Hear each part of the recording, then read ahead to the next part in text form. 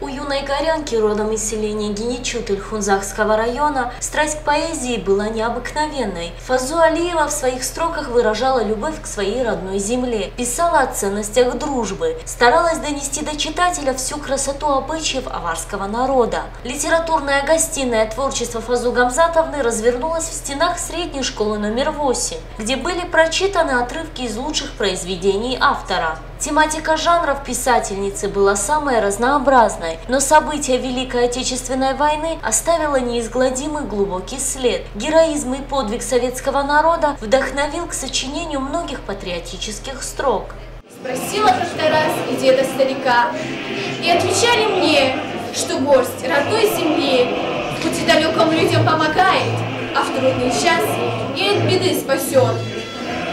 Детский ум, наивный и пытливый, весеннее журчание ручейка, не мог понять мой ум, какую помощь может кому к земли на фронте оказать. Фазу Гамзатовна в своем искусстве творения поэзии отдавала особое предпочтение теме материнства. Именно своим детям был посвящен цикл произведений, получивший широкую известность во всем мире, где говорится о безграничной любви родителей и о семейных ценностях. Здесь весь жениться и построить дом. Весь этот дом я построил сам, от начала и до конца, своими руками. Вот тетрадь номер 6. Здесь весь заработок, который был потрачен для твоего обучения с тех пор, как ты пошел в первый класс. Итого, Итого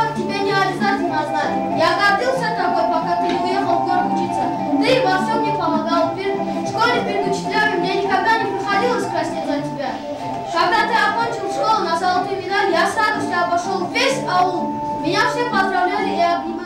Литературный марафон направлен не только на ознакомление подрастающего поколения с произведениями. Современная молодежь также должна знать и о самой поэтессе, внесшей неоценимый вклад в историко-культурное наследие всей страны, отметили организаторы.